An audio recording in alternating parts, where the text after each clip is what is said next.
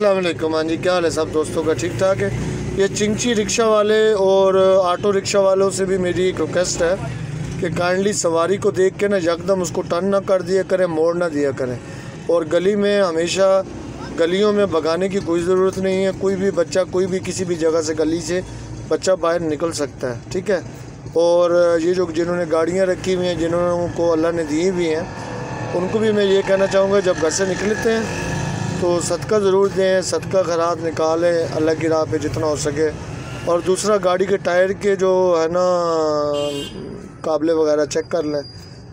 चारों टायरों के स्टपनी चेक कर लें, पानी चेक कर लें, और रेडिएटर का पानी चेक कर लें। ये चीज़ें चेक कर लें, जैक पाना हर चीज़ अवेलेबल है, ठीक है। ये चीज़ें रख, चेक करके फिर आप सफ़र पे अल्लाह का नाम, सफ़र की दुआ पढ़ के निकलें। और रिक्शे वालों को तो यही कहूँगा कि आराम से चलाएँ। सवारी जो नसीब में रिजक अल्लाह ने लिखा है ना, वो मिलना ही है।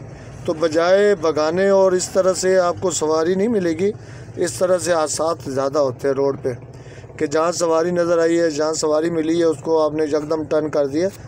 ये काम ना किया करें और इसीलिए जो है ना, अच्छी बात नहीं है। और रेडियो वालों का भी, बस अल्लाह ने रिजक जिस तरह का जिसका यह लिखा हुआ है, उसको अल्लाह दे रहा है। तो कहने का मकसद है, गरीब आदमी का एहसास किया करें।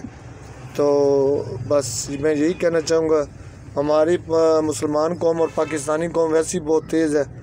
और ये पाकिस्तानी जो है, ये तो हर काम में तेज़ हैं। गलत तरफ़ इस्तेमाल दिमाग ज़्यादा करते हैं, सही तरफ़ दिमाग कम इस्तेमाल करते हैं। तो हालाँकि यही दिमाग सही तरफ़ इस्तेमाल करें ना तो हम लोग यूरोप से कहीं आगे चले जाएँगे। Thank you